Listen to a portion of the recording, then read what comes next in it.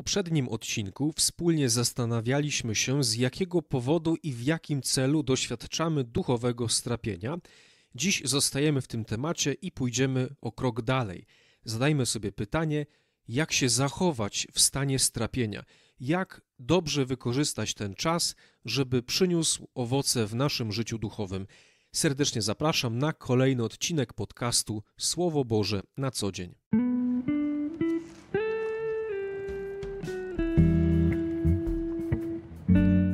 Nazywam się Krzysztof Augustyn i jestem księdzem katolickim, a ty słuchasz podcastu, na którym znajdziesz rozważania oparte o Biblię i naukę Kościoła. Serdecznie zapraszam. Wczoraj obchodziliśmy uroczystość Najświętszego Serca Pana Jezusa i zawsze w kalendarzu Kościoła katolickiego jest tak, że na drugi dzień jest wspomnienie niepokalanego serca Maryi. Bardzo pięknie się to składa, bo kiedy rozważałem dzień wczorajszy i dzień dzisiejszy, to wszystko mi się składa w taką jedną całość i chciałbym, żebyśmy ten dzień wykorzystali po to, żeby czegoś się od Maryi nauczyć. Maryja ma dla nas mnóstwo praktycznych wskazówek odnoszących się do naszego życia duchowego i naszej relacji z Bogiem i chciałbym, żebyśmy z tego dzisiaj skorzystali. Więc chwyćmy Ewangelię, Słowo Boże, które dziś w Kościele było czytane jest to Ewangelia według świętego Łukasza, rozdział drugi, wersety 41 do 51. I pozwólcie, moi drodzy, jako że będziemy korzystali właściwie z całego tego fragmentu, pozwolę go sobie odczytać w całości.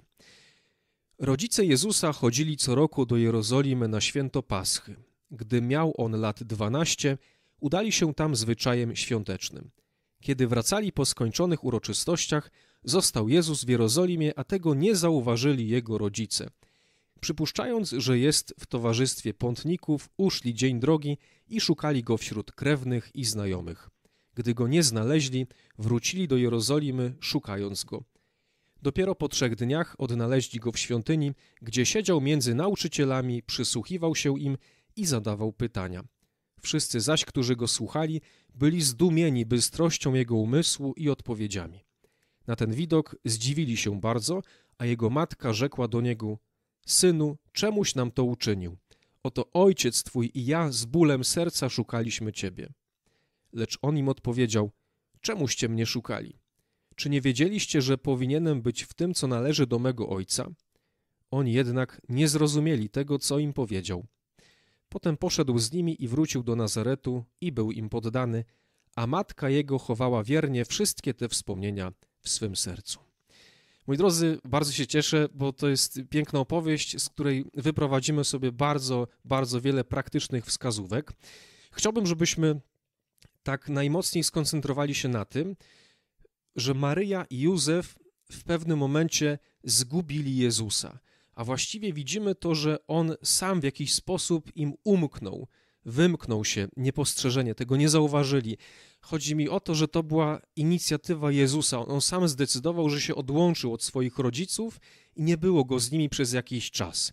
I to jest bardzo ważny szczegół, że Maryja i Józef stracili Jezusa, on się od nich oddalił, nie mieli doświadczenia Jego obecności. I myślę, że już się domyślamy, że chce tę scenę odnieść do rzeczywistości duchowego strapienia, bo możemy, moi drodzy, na ten obraz opuszczenia Chrystusa, mm, swoich rodziców, oddalenia się od nich, przeczytać jako obraz duchowego strapienia. I zwróćcie uwagę, że to jest też spójne z tym, o czym mówiliśmy wczoraj, że to sam Pan Bóg może stać za doświadczeniem duchowego strapienia. I to jest bardzo podobnie, że to Chrystus sam ze swojej inicjatywy opuścił swoich rodziców, oddalił się od nich, był przez jakiś czas daleko od nich.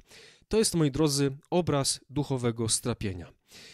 I za chwilkę odniesiemy sobie to do naszego życia, zobaczymy, jak mamy się w tym stanie zachować. Ale jeszcze raz sobie przypomnijmy, czym jest stan duchowego strapienia. Warto o tym ciągle przypominać, że to jest coś całkowicie normalnego, zdrowego i każdy człowiek, który ma więź z Bogiem, który jest w relacji z Bogiem, będzie doświadczał w swoim życiu stanu duchowego strapienia.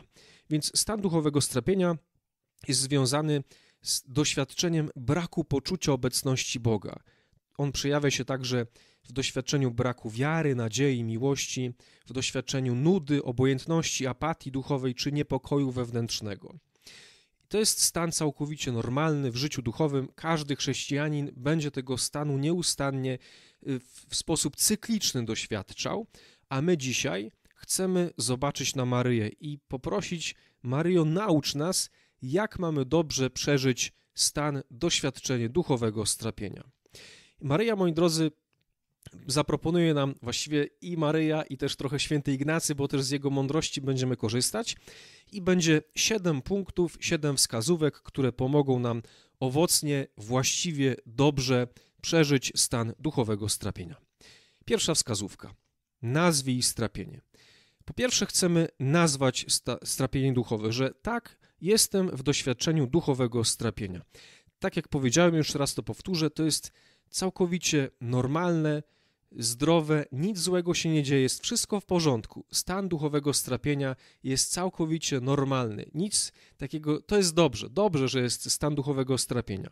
I my chcemy, moi drodzy, ten stan zawsze najpierw umieć nazwać, bo w życiu duchowym bardzo ważna jest umiejętność rozpoznawania i nazywania pewnych stanów wewnętrznych, stanów duchowych, których doświadczamy. To jest bardzo ważna umiejętność.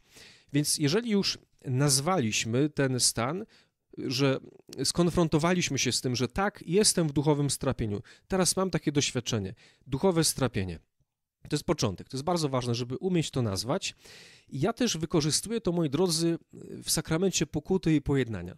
Mam na myśli to, że zawsze jak ja się spowiadam, y, Oczywiście ja to robię najczęściej u księży, którzy mnie znają. To jest taka spowiedź, na którą też mamy czas, warunki, możliwości, więc ja zanim wyznam swoje grzechy, to na początku spowiedzi mówię o tym, w jakim jestem stanie duchowym, jaka jest moja kondycja duchowa, więc nazywam przed spowiednikiem, czy to jest pocieszenie, czy to jest strapienie, czy to jest taka y, równina, że, że nic takiego ani to, ani to. I myślę, że to jest ważne dla spowiednika i też dla mnie czasami się tak zdarzy, że penitent coś takiego powie. To jest ważne, bo wtedy od razu inaczej mm, się postrzega to wyznanie grzechów. Mm, o tym też za chwilkę powiemy, jakie jest nasze postrzeganie w stanie strapienia, ale jeżeli y, penitent mówi, że jest w stanie strapienia i się spowiada, y, wyznaje swoje grzechy w tym stanie strapienia, to, to bardzo pomaga y, dobrać, właściwie postawić diagnozę i dobrać dobre lekarstwa, które pomogą. Myślę, że to jest oczywiste, że zawsze, kiedy w stanie strapienia jest penitent, to trzeba być dla niego bardzo łagodnym, bardzo wyrozumiałym, mm, takim przyjmującym i też wtedy nie jest czas na to, żeby, tak powiem, dociskać śrubę, żeby dawać jakieś pokuty czy jakąś pracę nad sobą. To, to jest czas, żeby, żeby się uspokoić i żeby z tego duchowego strapienia wyjść. W każdym razie, moi drodzy, jest to pomocne. Ja to praktykuję jeżeli ktoś ma takie możliwości, ma możliwość spowiadania się u kapłana, który go wysłucha, który też da jakieś wskazówki duchowe, warto na początku zaznaczać, w jakim stanie duchowym jesteśmy. Czy to jest stan strapienia, pocieszenia, czy może ani taki, ani taki. Równina. To jest pierwsza wskazówka. Nazwij strapienie. Idziemy do drugiej. Druga wskazówka. Stawiaj opór. Stawiaj opór. Chcemy, moi drodzy, stawiać opór, kiedy doświadczamy strapienia duchowego. I tu już patrzymy się na Maryję. Widzimy, że Maryja szukała Jezusa aż trzy dni. Więc nie miała w sobie takiej postawy, a dobra, może się sam znajdzie, jakoś to się ta sytuacja rozwiąże, ale ona w jakiś sposób wzięła sprawy w swoje ręce, była aktywna, podjęła pewien wysiłek, zaangażowanie po to, żeby odnaleźć Jezusa. I to jest dla nas y, obraz czytelny, że i my, kiedy jesteśmy w duchowym strapieniu, mamy to ten doświadczenie braku poczucia obecności Boga, nie chcemy po prostu tego zostawić samemu sobie, nie chcemy się jakoś tak poddać, chcemy postawić duchową kontrę. Duchową kontrę. I tak mówi nam święty Ignacy. On mówi po łacinie, że trzeba wtedy agere contra. Agere contra, czyli działać przeciwko. To znaczy, że zawsze, kiedy jesteśmy w stanie duchowego strapienia, nie chcemy się temu poddać, ale chcemy stawić opór. I to ma związek choćby z naszymi praktykami duchowymi. Każdy z nas ma z pewnością jakiś rytm swój modlitewny, swoich praktyk duchowych, albo jakiś rytm spowiadania się, czy co miesiąc, czy co dwa tygodnie, czy rzadziej. Chodzi o to, że Opór polega na tym, że my się nie poddamy, bo w stanie strapienia jest taka pokusa, żeby na przykład, a odpuszczę tą spowiedź, a jeszcze trochę poczekam, a może to się, nie będę tych praktyk duchowych, które mam, odpuszczę, bo, bo tak jakoś ten Pan Bóg jest daleko. Chodzi o to, żeby w tym stanie się temu nie poddać, żeby te praktyki duchowe, żeby ich sobie nie odpuszczać, bo w taki sposób my stawiamy opór. To jest ważne też, żeby to robić z głową, żeby się jakoś w tym nie przeciążyć. Ale święty Ignacy chociażby mówi coś takiego, to często powtarzam, że jeżeli ktoś się modli jakoś tak głębiej, dłużej i ma wyznaczony czas, to w strapieniu jest pokusa, żeby skrócić modlitwę. Ignacy mówi, jeżeli taka pokusa przychodzi, to wydłuż o minutę. Wydłuż o minutę, czyli to jest ten taki opór, agere kontra, postawienie kontry, postawienie oporu. Chcemy stawiać opór, tak jak Maryja była zaangażowana, aktywna w tym stanie strapienia. Idziemy do trzeciej wskazówki. Trzecia wskazówka brzmi: powiedz o tym Bogu. Powiedz o tym Bogu. W tej scenie widzimy, że Maryja, kiedy znalazła Jezusa, mówi do niego: Synu, czemuś nam to uczynił? Oto ojciec twój i ja z bólem serca szukaliśmy ciebie, z bólem serca szukaliśmy ciebie. Bardzo ciekawe to jest, że Maryja otworzyła swoje serce przed Jezusem, była przed nim szczera, powiedziała, jak ona to czuła, żeby ją to zabolało. Z bólem serca szukaliśmy ciebie. To było dla mnie bardzo trudne. Zabolało mnie serce.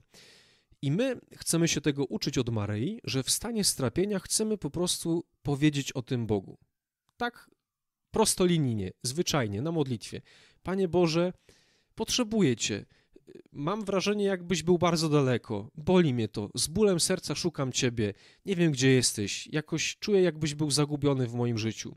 Chodzi o to, żeby wypowiedzieć przed Bogiem szczerze to, co w sercu jest, jakie myśli, jakie uczucia temu towarzyszą. Tak jak Maryja powiedziała, z bólem serca szukałam Ciebie. I my też tak chcemy. Na modlitwie y, osobistej z Bogiem, czy na adoracji, czy gdziekolwiek na spacerze, możemy Bogu o tym powiedzieć. Panie Boże, z bólem serca szukam Ciebie, boli mnie serce, czuję się taki osamotniony, opuszczony z powodu tego doświadczenia. Chodzi o to, żeby szczerze, tak prosto Mm, otwarcie nazwać te myśli, odczucia, emocje, które nam towarzyszą i to wszystko wypowiedzieć przed Bogiem. Czyli to jest trzecia wskazówka. Powiedz o tym Bogu. Idziemy do wskazówki numer cztery. Nie zostawaj sam. Wskazówka numer cztery, której uczymy się od Maryi, to nie zostawaj sam. Widzimy też w tej scenie, że Maryja nie szukała Jezusa sama. W tym doświadczeniu nie była sama, ale szukała Jezusa razem z Józefem. Mówi: Ojciec twój i ja szukaliśmy ciebie. Szukali go razem. To jest bardzo ważna wskazówka, moi drodzy, w kontekście przeżywania strapienia, bo zawsze, kiedy dopada nas ten stan duchowego strapienia, jest w nas pewna tendencja do tego, żeby zamykać się w sobie, żeby się izolować od innych, żeby zosta zostać samemu sobie, żeby mm, jakoś się tak odizolować, schować przed innymi, nikomu o tym nie mówić. A Maryja szukała Jezusa razem z Józefem, nie robiła tego sama. To jest bardzo ważna wskazówka dla nas, że my, kiedy doświadczamy stanu strapienia, naprawdę bardzo, bardzo warto otworzyć przed kimś. Poprzednio mówiliśmy, żeby otworzyć serce przed Bogiem, a teraz mówimy o tym, wskazówka numer cztery, żeby otworzyć serce przed kimś, żeby z tym doświadczeniem nie zostawać samemu. A więc ja bardzo gorąco zachęcam do tego, żeby takie doświadczenie strapienia i temu, jakie myśli temu towarzyszą, jakie emocje, jakie odczucia, żeby o tym opowiedzieć jakiejś zaufanej osobie. Oczywiście to nie jest jakaś pierwsza, lepsza osoba, która nam się napotoczy i my tu już opowiadamy, jak, jakie tutaj strapienia duchowe doświadczamy w naszym życiu. Nie. Chodzi nam o zaufaną osobę. Osobę, która nas zna, y, która ma dobre ucho do słuchania, o której wiemy, że ona po prostu nas wysłucha, nie będzie tego oceniała, nie wiem, nie będzie wskazówek nam dawała. To może być nasz przyjaciel, mm, osoba bliska, ale też może być osoba duchowna. Tak jak mówiłem, czasami to może być przy spowiedzi. Warto o tym powiedzieć, jeżeli wiemy, że spowiednik, no nie wiem, udźwignie to. Mm, warto, może kierownikowi, no to, to jest oczywiste, że kierownikowi duchowemu, jeżeli ktoś ma się spotyka, to to jest jasne. Chodzi o to, moi drodzy, żeby z tym doświadczeniem nie zostać samemu, żeby się w tym nie zamknąć, żeby się nie odizolować, żeby się nie zasklepić w sobie opowiedzieć o tym komuś, osobie zaufanej, przyjacielowi, osobie duchownej. To wskazówka czwarta. Idziemy do wskazówki numer pięć. Chowaj wspomnienia w sercu. To jest, moi drodzy, już widzimy wprost wyciągnięte z tego tekstu zakończenie tej perykopy biblijnej jest takie, że Maryja chowała wiernie wszystkie te wspomnienia w swoim sercu. Czyli widzimy Maryję, która to, co się dzieje, jakoś analizuje, rozważa, zapamiętuje, próbuje tak sobie zapisać w pamięci serca. To jest, moi drodzy, dla nas wskazówka, że naprawdę warto zapamiętywać sobie nasze strapienia. Warto je chować w sercu, po to, żeby dostrzec pewien proces, w jaki Bóg nas prowadzi. Co się działo podczas tego strapienia, jakie myśli towarzyszyły, jakie emocje. Naprawdę warto to sobie zapamiętać, ale wiemy, że pamięć ludzka jest bardzo ulotna i dla ambitnych, ja mam taką propozycję, do tego zachęcam i sam to praktykuję, że warto sobie zapisywać. Kiedy jesteśmy w stanie strapienia, warto sobie to zapisać, co się dzieje, co nam towarzyszy, jakie doświadczenia, jakie emocje, jakie odczucia. Ja zachęcam każdego, kto prowadzi jakieś głębsze życie duchowe do tego, żeby mieć sobie pewien zeszyt, notatnik i tam zapisywać to, co się dzieje w tym duchowym życiu. Ja tam zapisuję datę i mogę sobie do tego wrócić. Załóżmy, widzę, co się działo rok temu o takiej samej porze, y, końcówka czerwca i widzę, jakie były strapienia. Właściwie były takie same, co teraz już zmęczenie materiałem, zmęczenie sesją, doświadczenie samotności. I to wszystko było w zeszłym roku, tak? I podobne rzeczy teraz przeżywam. I to jest bardzo cenne, bo możesz sobie do tego wrócić. Widzisz to. A, to właściwie to samo, co, co teraz. I widać też to, jak Pan Bóg nas przez to przeprowadził, albo co takiego było dobrego, czego się nauczyłem w tym stanie. Więc takie zapisywanie swojego stanu strapienia, myśli, które temu towarzyszą, emocji, odczuć, jest naprawdę bardzo, bardzo, bardzo korzystne w przyszłości. W przyszłości, kiedy te strapienia, one się znowu pojawią w podobnych okolicznościach, z podobnych może powodów, z podobnych względów i wtedy sobie wracamy. A, co się działo wtedy? Jak mnie Pan Bóg poprowadził? Co takiego było pomocnego? A co takiego zepsułem wtedy?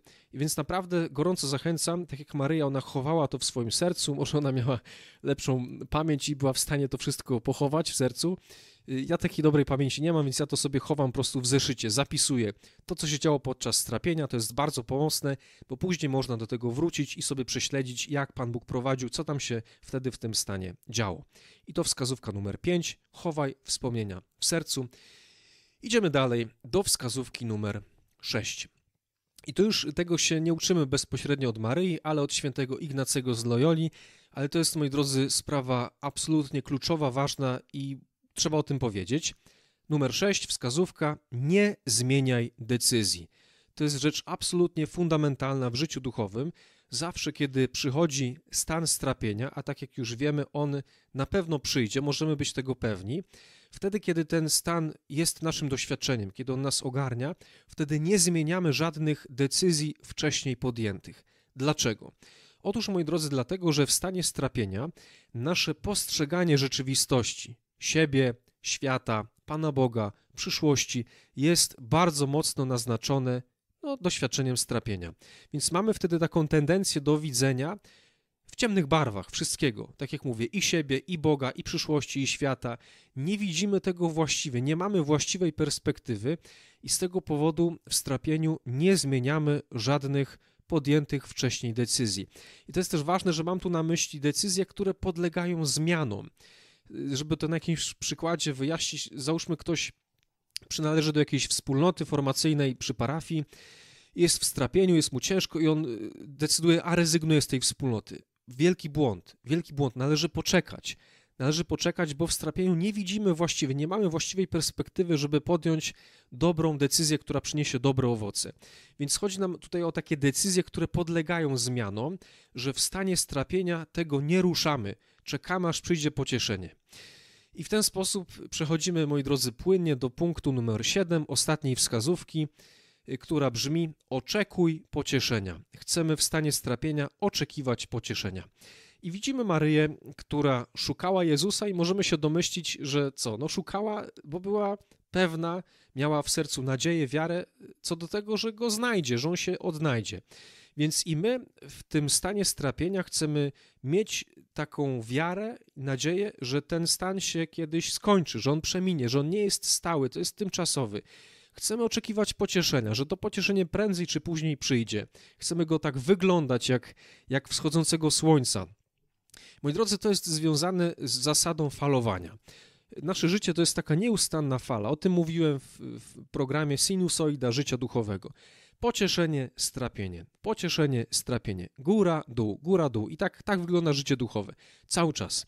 Więc kiedy jesteśmy na dole, w tym dołku, chcemy ten stan przyjąć, zrobić to wszystko, o czym e, przed chwilą powiedzieliśmy. I ostatnia wskazówka jest taka, że chcemy mieć świadomość, że ten dół on się kiedyś skończy i kiedyś przyjdzie doświadczenie pocieszenia. To nie jest tak, że strapienie będzie trwało wiecznie.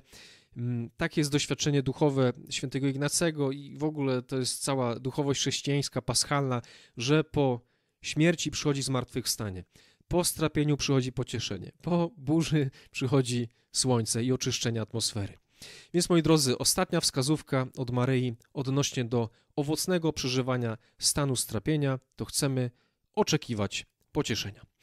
Więc moi drodzy, widzimy, że od Maryi możemy się bardzo wiele nauczyć pokazała nam wiele praktycznych wskazówek, jak mamy się zachować wobec doświadczenia duchowego strapienia. I chciałbym, żebyśmy sobie krótko ten odcinek podsumowali. Więc moi drodzy, chciałbym, żebyśmy zapamiętali to, że doświadczenie duchowego strapienia, czyli poczucia mm, nieobecności Boga, duchowej oschłości, apatii, niepokoju wewnętrznego, to jest absolutnie normalny stan w życiu człowieka, który ma więź z Bogiem. To jest normalne, zdrowe, wszystko jest w porządku, wszystko jest ok. Ten stan ma swoją rolę, znaczenie i chcemy go dobrze wykorzystać, żeby on przyniósł dobre owoce w naszym życiu. I od Maryi uczymy się aż siedmiu wskazówek, w jaki sposób dobrze ten stan wykorzystać. Więc po pierwsze, chcemy nasze strapienie duchowe nazwać. Tak, jestem w strapieniu duchowym. Jest mi ciężko, nie czuję Cię, Panie Boże, wydaje mi się, że jesteś bardzo daleko. To po pierwsze, nazywamy strapienie. Po drugie, chcemy stawiać opór. Chcemy, nie chcemy się temu stanowi poddać, że on po prostu jakoś sam przejdzie. My chcemy stawić opór, agere contra. Chcemy wzmocnić albo nie odpuszczać praktyk duchowych, które już mamy w swoim planie. Po trzecie, chcemy powiedzieć o tym Bogu, wypowiedzieć szczerze od serca to, co się dzieje, to jak odczuwam, to jak to widzę, stan duchowego strapienia, mówimy o tym Bogu na modlitwie. Po czwarte, nie zostawiaj sam.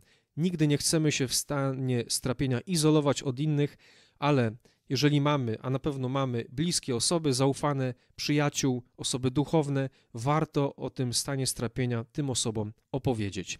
Po piąte, chowaj wspomnienia w sercu. Wartą i godną pochwały praktyką jest zapisywanie, zapamiętywanie duchowego strapienia i temu wszystkiego, co jemu towarzyszy, bo to później pozwala nam łatwiej i owocniej przeżywać kolejne strapienia. Po szóste, nie zmieniaj decyzji. Nigdy w stanie strapienia nie zmieniamy decyzji, które podlegają zmianom, bo nie widzimy w sposób właściwy wtedy rzeczywistości. Patrzymy przez pryzmat naszego strapienia. I ostatnia, siódma wskazówka, oczekuj pocieszenia. Życie duchowe to nieustanna fala, strapienie, pocieszenie, strapienie, pocieszenie i kiedy jesteśmy w strapieniu, chcemy ostatecznie wyczekiwać pocieszenia, które z pewnością przyjdzie.